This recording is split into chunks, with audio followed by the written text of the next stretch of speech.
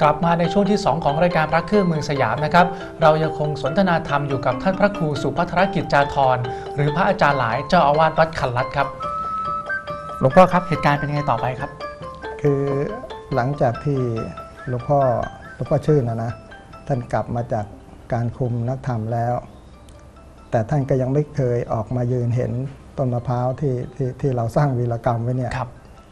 พระที่วัดท่านก็ปิดเหมือนกันครับ แต่ช่วงนั้นก็อย่างที่บอกกบโยมว่าปลายปี 2504 ปลายเดือนธันวากำลังนั่งใจไม่ดีอยู่เนี่ยใกล้ๆจะเพลนครับจะอุ่นกับข้าวให้ให้พระท่านฉัน ก็มีเด็กวัดคันรัตเนี่ยคือในายทวินกาลเกต ซึ่งเป็นลูกศิษย์ท่านอาจารย์จง ท่านเดินมาที่วัดครับทวินก็เดินมาที่วัดบอกสวัสดีเน่นโยมให้ไปฉันข้าวต้มที่บ้าน ครับอ๋อเราก็รู้ทันทีเลยว่าอาจารย์จงมาเที่ยวบ้าน ครับ แล้วก็ฉันก็ไป ไปฉันข้าวต้มพอฉันเสร็จอาจารย์จงท่านก็จะกลับพระประแดงสมัยก่อนเราเรียกกันว่าปากรัดครับท่านก็ถามเน่นไปเที่ยวปากรัดไหมครับ ซึ่งก็คือหมายถึงว่ามาเที่ยวที่วัดแห่งนี้ไหมถูกอ่าไหมมาครับเที่ยวปากรัดไหมครับพอดีเราก็มีคดีอยู่ครับคดีต้นมะพร้าวเนี่ยนะครัต้นมะพร้าวก็บอกไปก็ไปฉันก็บอกไป โยมก็ให้สตังค์มาร้อยหนึ่งครับขากลับกับสมัยก่อนนี่มันไม่สะดวกเหมือนกับสมัยนี้อ่า กลับรถบกสสมัยก่อนนะพอมาขึ้นรถบกสอาจารย์จงท่านนู่นไปลงเอกมัย ธรรมดาก่อนนี้ถ้ามาเนี่ยจะลงที่สำโรงอ๋อครับผมแล้วก็ต่อครับรถจากสำโรงเนี่ยมาที่ปู่เจ้า แล้วครัก็บมาข้ามเรือสครัมัยบก่อนนี้ถนนไม่ดีอย่างนี้หรอกที่ฉันมาอยู่เนี่ย ถนนปู่เจ้ามีแต่ทุ่งนาครับสองข้างทางนี่เป็นท้องนาเป็นทุ่งนาหมดเดี๋ยวนี้มันครับเป็นโรงงานเต็มโอ้ไปโหหมเดี๋ยดวนี้เป็นโรงงานเป็นห้างเป็นตึกเป็นอะไรเต็มไปหมดเลยใช่นะครับ ก็เลยมาพอมาปุ๊บตอนนั้นที่วัดนี้ก็เหมือนเดิม พระก็มีอยู่สี่รูปครับท่านมีท่านอาจารย์จงเจ้าอาวาสหลวงตาเหมือนหลวงตากิ่งอ่าอาจารย์สละ แล้วฉันเป็นเนนหนึ่งนอกจากนั้นก็เป็นเด็กวัดที่โดยมากจะมาจากคลองพญาสมุทรที่เขามาฝากเรียนที่ที่วัดแห่งนี้ครัมาบมาเรียนโรงเรียนอำนวยวิทย์อ๋อครับคือผมคือแต่ก่อนเนี่ยบางพีบางบ่อเราไม่มีโรงเรียนดีครับๆ พอพอมหนึ่งมสองมสามเนี่ยจะต้องมาที่พระประแดง คือมาเรียนที่นี่นะครับมาเรียนแล้วก็ก็มาอาศัยกินอยู่ที่วัดใช่ครับ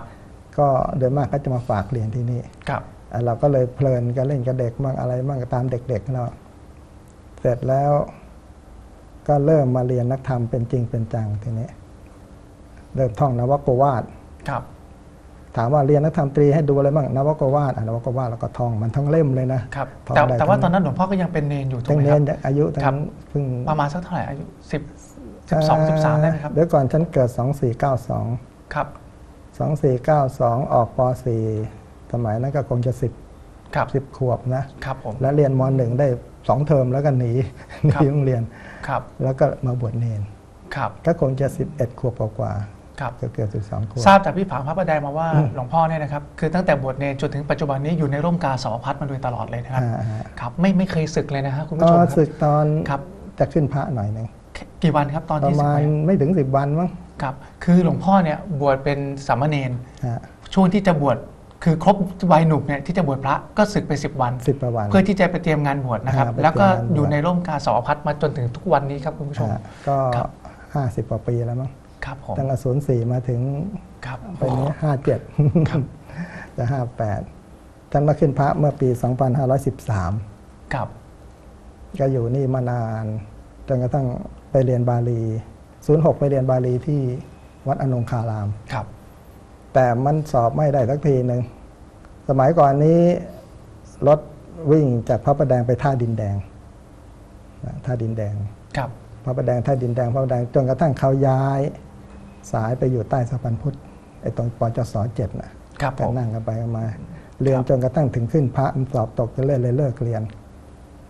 แล้วมาเป็นครูสอนนักธรรมบ้างอะไรบ้างฉันเริ่มสอนนักธรรมตั้งแต่2514 ครับผม 14 สอนพระมา ปัจจุบันนี้พวกเจ้าอาวาสต่าง ๆ ในพระประแดงนี่แทบจะเป็นลูกศิษย์ทั้งหมดแล้วครับผมครับ เพราะแต่เขาไม่ศึกนะครับผมก็ได้เป็นครับเจ้าอาวาส หลวงพ่อครับผมผมขอย้อนถามนิดนึงครับช่วงที่ช่วงที่หลวงพ่อบวชเนนแล้วกำลังจะ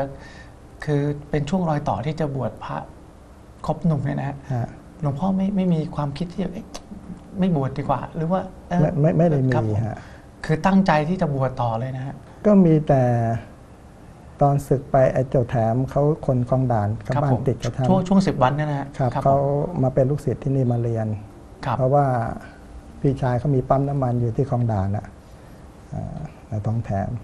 ก็พูดกับตลกไว้หนุ่มอะ บอกเน้นศึกไปเดี๋ยวจะพาไปยกครูเหมือนกันครับผมครับแล้วมันก็หายไปเลยไม่ได้ไปยกที่ไหนเลยอ๋อครับผมครับอ๋อตอนนั้นเราก็ไม่กล้าเที่ยวไปไหนด้วยครับผก็มก็เลยยังบริสุทธิ์อยู่ครับผมจนพอเสร็จก็แล้วก็บวชบวชพระต่อเลยนะครับบวชพระต่อครัเลบยผมครับไม่ได้ไปไหนครับแล้วพูดถึงเอ่อสัพพวิชาในการเรียนวิชาหลวงพ่อเรียนวิชาจากจากพระอาจารย์องค์ไหนยังไงฮะหมายถึงถ้าเรียนครับทางด้านศึกษานักธรรมบาลีมันก็ครับมีตอนนักธรรมชั้นเรียนที่วัดทรงธรรม ครับวัดทรงธรรมในยุคนั้นก็มีท่านอาจารย์มหาวลีท่านจะสอน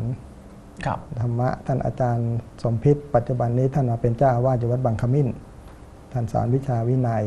ครับ แล้วก็ท่านอาจารย์สุดท่านตายไปแล้ววัดทรงธรรมครับอืมแต่ถ้าเป็นบาลีไปวัดอนงครับฉันเรียนแค่นักธรรมตรีที่วัดทรงธรรมครับพอได้นักธรรมตรีปุ๊บไปเรียน บาลีที่วัดอนงคารามครับผมก็ครับมีอาจารย์เยอะเหมือนกันจำชื่อทับไม่ค่อยได้ครับแล้วครับจะมีแล้วถ้าท่เป็นสัพพวิชาที่พวกนักสะสมพระเครื่องเขาจะแบบเอ่อพูดถึงหลวงพ่อว่าหลวงพ่อแบบมีความเมตตามหานิยมเป็นอย่างมากพวกเนี้ยครับครับสัพพวิชาตรงนั้นหลวงพ่อเรียนมาจากพระอาจารย์องค์ไหนบ้างครับ โดยมากก็ไม่เชิงเรียนนะครับมันจะเป็นบักครูพักรักจำมากกว่าครับอาศัยที่เราไปรู้จักหลวงพ่อดัง ๆ แล้ว จะไปขอของมากกว่าที่จะไปเรียนครับผมอย่างแถวพระประแดงเนี่ยอ่า หลูกปู่คำวัดบางขมิ้นครับท่านเก่งเรื่องอะไรจะเก่งในเรื่องลงพวกประหลัดขิก แล้วก็อ๋อเหรียญของท่านดังนะครับครับแล้วนักมวยที่จะต่อยในสมัยนั้นจะต้องไปให้หลวครังบพ่อท่านเสกอ๋อลงของครับแล้วท่านคือเสเพกราะฉะนั้นคำว่าพุทธคุณท่านก็คือทางด้านเหนียวคือเหนียวถูกไมเหนียวครับครับผมท่านจะพูดเลยอ่ารับรองไม่มีแตกครับแต่แต่แต่ปูดไม่รับรองไว้เขาบอกงั้นนะครับผมหลวงครับปู่คคำรับเหรียญแกอาจจะหมืนกันเจ็บอาจจะช้ำแต่ว่าเลือดไม่ออกไม่แตกแน่นอนฮะเหรียญครับแกมีหนึ่งสี่กับหนึ่งเจ็ด ครับเหรียญแกในกระทะเหรียญกูลองได้ แต่แต่แต่สามครั้งนะ ครั้งที่สี่ไม่รู้นะเว้ยเขาบอกงั้นครับผมอ๋ออย่างบอกบอกลอง แต่ว่าครับเป็นอาจารย์อื่นนั้นเช่นอาจารย์เยอะอะไรนี่ท่านจะด่า ใครเอาไปลองไปนั่นเดี๋ยวกระสาบแช่งครับผมคแต่รับหลวงปู่คำนี่ไม่ได้ ส่วนหลวงตาเผือกวัดจักรแดงท่านจะลงประหลัดขิกเก่งครับวัดจักรแดงจานเนี่พยลัดคิกเนี่ยนะฮะครับครับผมเก่งครับมากเลยครับแล้วก็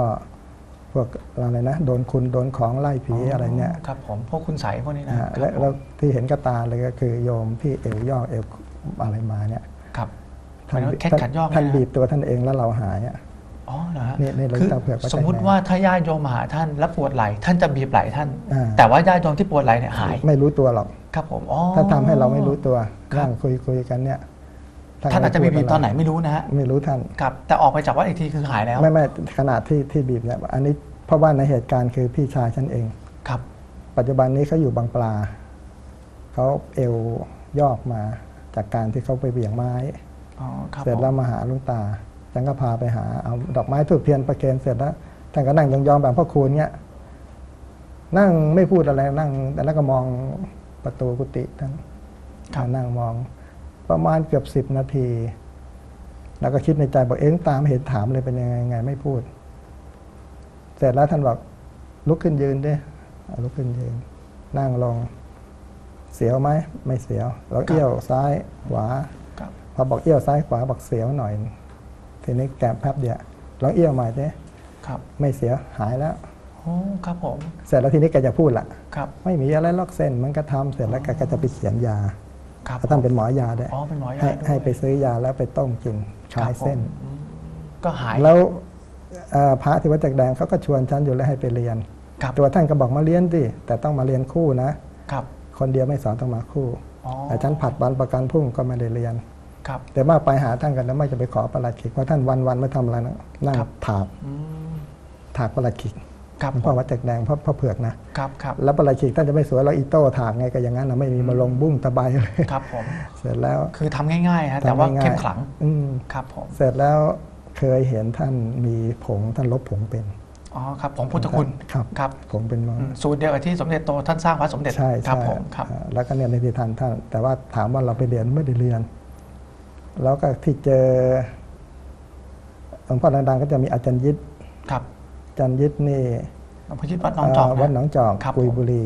ครับฉันไปเมื่อปี 2529ฉันเป็นคนเอาไอ้นี่ขัดเลยนะ แปรงทองเหลืองอะเพราะคนเขายุก็บอกอาบน้ำท่านปีอาบน้ำแล้วหนหนึ่งครับผมส่งน้ำกลางเดือนสี่ครับคือวันอื่นๆเนี่ยท่านไม่ส่งน้ำเลยใช้เช็ดตัวเอาเช็ดตัวเอาครับส่วนใหญ่พระเกจิสมัยก่อนจะเป็นอย่างนี้เยอะนะฮะไม่ยอมส่งน้ำนะฮะครับผมแล้วแล้วยังไงต่อครับแล้วอ๋อ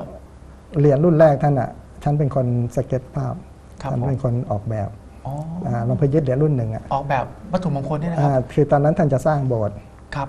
ทีนี้ไม่มีทุนท่านไม่เคยทำเหรียญไงทำแต่ประหลัดขิกเป็นครั้งแรกที่จะทำเหรียญครับผมก็พอดีคุณลาวันใบหยกเขานับถือ